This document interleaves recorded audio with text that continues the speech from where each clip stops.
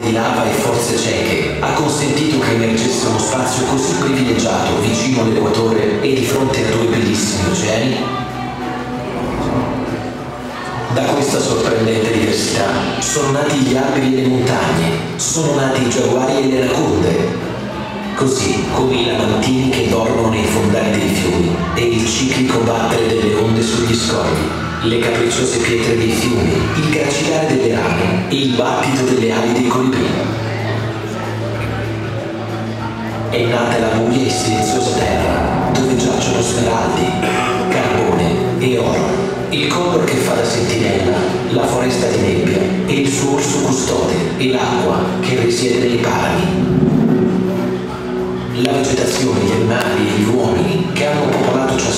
Questi climi non sono uguali e quindi costituiscono una delle più svariate e allo stesso tempo straordinarie culture, sia naturali quanto umane. Molti secoli dopo, questa terra incantata ha preso il nome dal più grande navigatore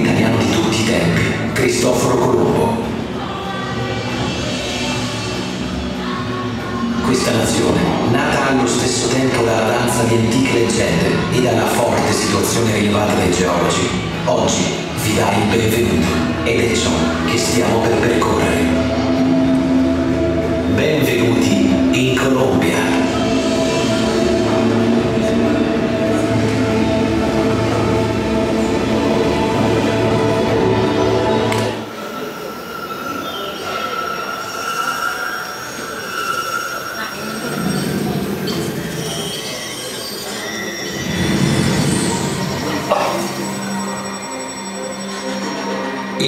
Caldo si estende sulla maggior parte del nostro territorio, dove i raggi del sole ritardano ad espandersi nell'aria, creando calore.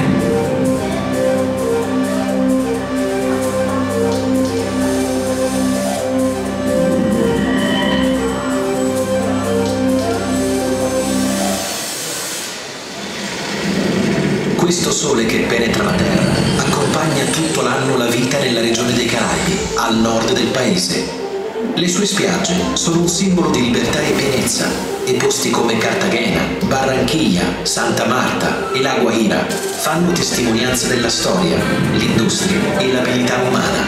Da questa zona proviene anche un altro mondo. Più di 70 milioni di lettori in 60 lingue hanno vissuto la nascita di Macondo nelle spiagge di 100 anni di solitudine di Gabriel García Márquez. Tracciando una linea verso sud, il clima caldo si estende verso l'oceano, il Pacifico. Il mare aperto, le balene saltano e colpiscono l'acqua con clangore, di fronte all'impassibile sguardo dei pellicani, sull'isola santuario di Malpelo.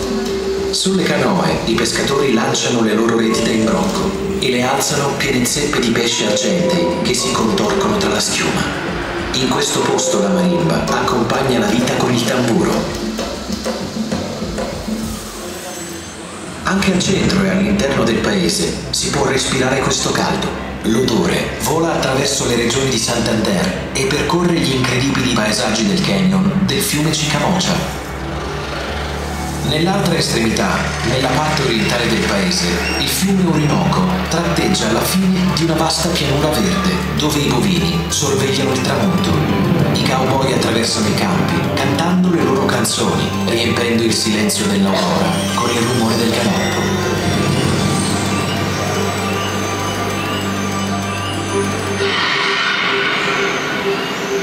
A sud l'Amazzonia è un vero e proprio tempio, altissimi alberi che sembrano toccare il cielo con i loro rami e tanti frutti con sapori dolci. Sembra che le parole non bastino per elencarli.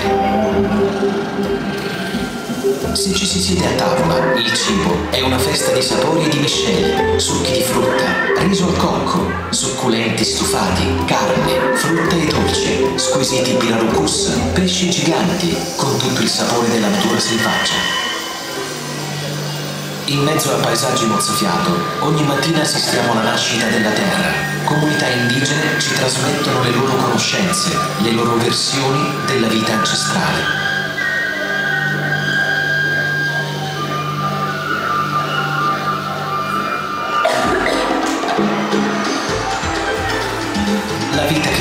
In eventi culturali come la Feria de Cali, che promuove l'industria della canna al zucchero e il ballo della salsa, il carnevale di Barranquilla, un'esplosione di colori e arte, patrimonio immateriale dell'umanità.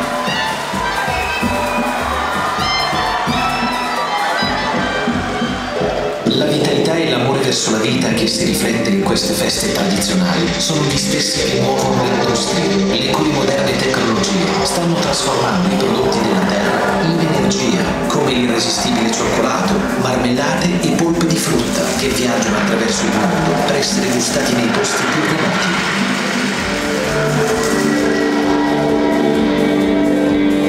È il talento, accoppiato con la gioia e la delle persone che abitano queste terre, che consente alle loro città, sempre più moderne e cosmopolite, di guardare al futuro con ottimismo, brillando con particolare vigore. Queste città sono il contrappunto di una società che in qualsiasi modo continua a riconoscere la terra come una fonte di sapienza, il rispetto e la tutela dell'ambiente, che educa nuove generazioni nella cura che quest'ultima richiede, in modo che continui ad essere un bene comune, una fonte di purezza, d'aria, di vitalità, di diversità. La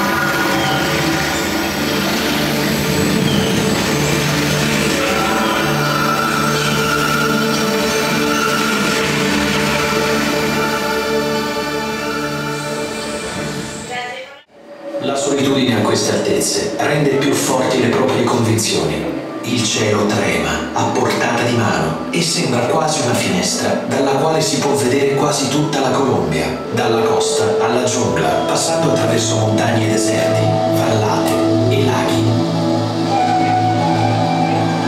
Che silenzio e che pace che si respira lassù. Una pace che da questi bianchi territori sembra riflettersi sul mondo sottostante. In questo modo gli dei sorvegliavano gli uomini dalle altezze ed è questo il motivo per cui sulle vette innevate si respira un'aria più pulita. Verso l'alto non c'è nient'altro che nuvole. È ora di ritornare per iniziare la discesa. Quindi l'aria che vola sopra la neve cade dai borghi delle montagne Arrivati di nuovo nel paramo, trema il Frailejón e fa vibrare l'acqua nelle sue conche.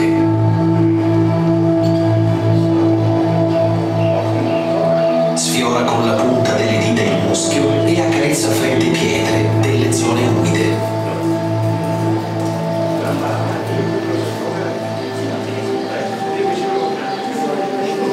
Prosegue la sua discesa e passando attraverso la savana del Bogotà, muove i salici le piante di eucalipto. Nei campi, le piante di mais dondolano producendo un suono che è presente sin dall'inizio dei tempi. È il vento che risuona quando attraversa le piante e gli alberi.